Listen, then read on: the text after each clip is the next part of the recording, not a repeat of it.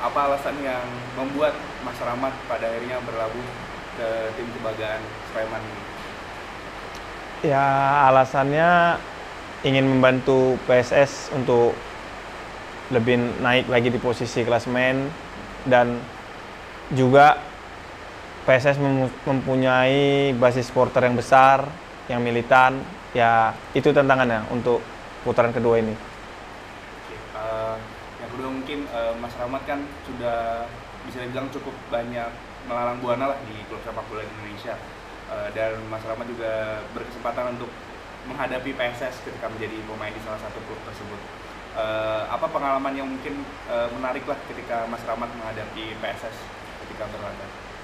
Ya, seingat saya di 2016 di pramusim Bali Island Cup ya kita ketemu saya main di Persib ketemu PSS di saat itu saya cetak gol mungkin saya juga agak teringat dikit waktu kenangan itu melawan Sleman Ya itu kayak juga Mas post di Instagram. Mungkin bisa diceritain golnya waktu itu ingat ya Mas seperti apa?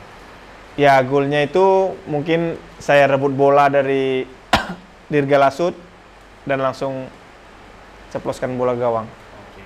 Pertanyaan terakhir Mas Robert, Eh, kan ini ada beberapa nama lah yang sudah Mas kenal. Apakah eh, hal tersebut membuat Mas Rahmat bisa membantu Mas Rahmat untuk beradaptasi dengan rekan-rekan ataupun cara sepak bola PSS Sleman ke depannya?